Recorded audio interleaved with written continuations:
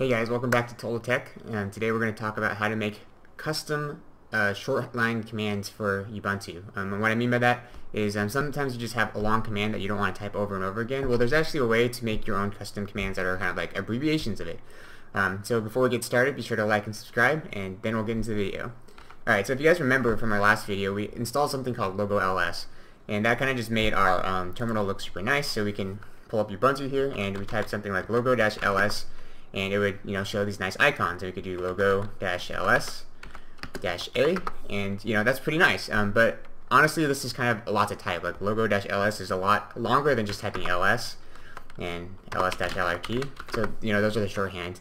So how do we actually make this easier to use? Well, one way is that we can um, just edit our profile, and we do this by going vi into our profile. So we're right into our profile, and we're gonna hit I for insert, and we're gonna type this item right here. So let's zoom in on this. Okay, so if you look at this, um, our alias is ILS, and that corresponds to logo LS. So basically what we're telling here um, for Ubuntu is that we're telling them, okay, we're going to use ILS as kind of a shorthand for logo-ls. Um, and so when we save this, we have all these other commands like logo-ls-a, we can do ILA, and we're basically um, telling uh, Ubuntu that these are shorthand notations of this. Um, so let's do, uh, you know, a write for this. So if you look at um, this section right here, um, right here I need to, oh, yeah, right there. Um, this is for the get one, and then for here, if you notice that there's no spaces between the equal sign, we need to make sure that um, when you're typing this command that there aren't spaces between this first command and uh, the actual command that we're running um, because uh, Ubuntu doesn't really like that and it'll complain. So let's hit escape and then hit colon QW to write to file. Oops, sorry.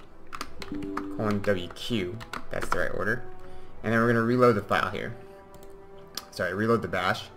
And now when we type ILS, um, it's going to run logo-ls. It's the same thing, but it's a lot faster. So if we do ILL, you know, it'll run logo-ls um, space dash a al. So we can do this for pretty much any command. So one really common command that we run all the time is, you know, we got to update our um, packages for Ubuntu. So people typically run sudo apt update like all the time.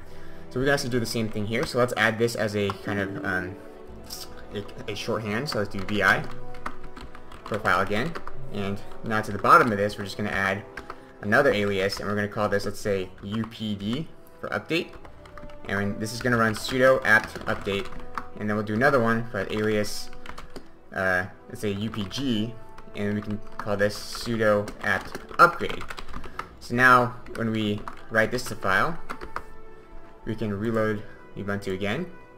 So now if I just write update and hit that command it'll automatically run sudo apt update. And because it's sudo we have to type in the password and it'll update the packages and then I can do upg you know, upgrade the packages, yes. And this is basically how you add these really shorthand um, kind of updates and your own customizable commands basically for sure, longer commands. So hope you guys like that. Hope this is helpful. Um, be sure to like and subscribe and share with all your friends. Thanks for your time.